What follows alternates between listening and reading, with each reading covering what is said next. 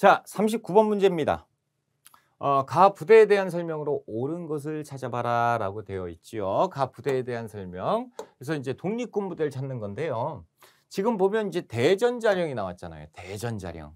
대전자령. 그러면 일단은 대전자령 나면 독립군이에요. 그리고 쌍성보. 대전자령 전투에서 승리를 합니다. 그렇죠? 그래서 1932년 그리고 1933년 그래서 어, 한국 독립군과 아, 중국 호로군 어, 이 연합을 해서 그래서 우리가 독호군 쌍대라고 외웠습니다. 그렇죠? 그래서 이게 왜 이렇게 됐느냐? 아, 그 한국 한중 연합 작전이죠. 우리 시험에 한중 연합 작전에 대한 설명이 출제가 잘 됩니다. 그래서 우리가 한중 연합 작전에 대해서 한국 독립군 아니면 조선 혁명군이에요. 정답이. 예, 그래서 여기에서 이제 풀어봐야 되는데 그럼 대전자령 나왔으면 일단 이렇게 해서 어 한국 독립군이네라고 어, 판단이 되어야 됩니다. 그렇죠?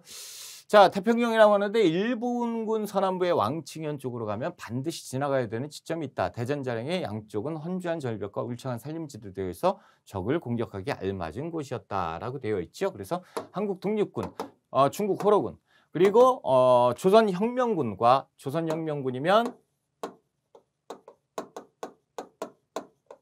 그러면 중국 의용군이 또 있어요. 그렇죠?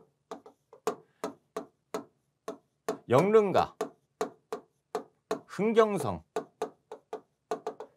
이렇게 이제 전투가 진행이 되는데 아, 우리가 이게 이제 주력 부대, 주력 부대라고 해서 이렇게 이제 외웠는데 이 중국 의용군과 호로군은 이제 섞여서 싸우기도 하고 그랬어요. 음. 자, 이 전투의 에, 주력 부대가 50명. 그러니까 이제 우리는 정답을 찾았어요. 뭐예요? 한국 독립군이죠. 한국 독립군의 주력 부대. 그리고 차이싱이 거느린 중국 의용군. 아, 그래서 여기에서 헷갈리신 분들도 있을 건데요. 일단 우리는 논점을 어디에다 놔요? 중점을 한중연합작전이라고 봐야 됩니다. 그렇죠? 한중연합작전에서 대전자령 승리를 거두었다라는 것은 한국 독립군이거든요. 그러니까 정답은 한국 독립군을 찾아라라는 얘기입니다. 음. 자, 1번.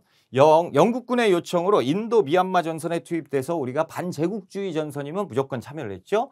대한민국 임시정부에서 만들었던 한국 광복군. 자, 간도 참변 이후에 조직을 정비하고자 자유시로 이동을 했고 이때 우리가 대한 독립 군단 그래서 하나의 예, 큰그 어, 그 연합을 했죠. 독립군 부대가 중국 관내에서 결성된 최초의 한인 무장 부대는 뭡니까? 조선 의용대예요. 홍범도 부대와 연합해서 청산리에서 일본군과 교전하였다. 그러니까 홍범도 부대와 연합을 했지요. 그러니까 홍범도 부대가 아니고 청산리에서 이렇게 교전을 했다. 그러니까 청산리 예, 김좌진 장군의 북로 군정서군을 얘기하는 거예요. 음. 어찌됐건 어, 대한독립군이든 어, 북로 군정서군이든 아무것도 뭐 정답과는 관련이 없죠. 한국 독립단의 군사 조직으로 북만주 지역에서 활약을 했다. 그러니까 한국 독립단 산하 아, 조직 한국 독립군을 얘기하니까 정답은 정확하게 5번에 있습니다. 그렇죠? 그래서 5번이 정답.